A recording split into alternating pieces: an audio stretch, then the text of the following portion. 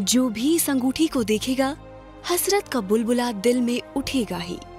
काश ये मेरी हो जाए। मोर जितनी मनभावन इस पिकॉक रिंग में साढ़े सोलह कैरेट के तीन हज़ार आठ सौ सत्ताईस हीरे लगे हैं। अंगूठी का कुल वज़न महज पचास ग्राम है।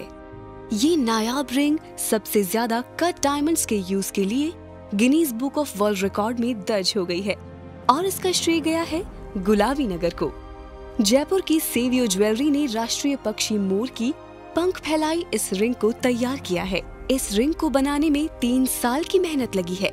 नक्काशी और महीनता ऐसी कि देखने वाले के दिल से पीहू पीहू की आवाज़ उठने लगे। डिज़ाइनर अभिषेक और आशीष को बधाई और उनसे भी ज़्यादा इस अंगूठी को तराशने वाले कारीगरों को सलाम। जयपुर से दैनिक भास्कर डॉट कॉम की रिपोर्ट।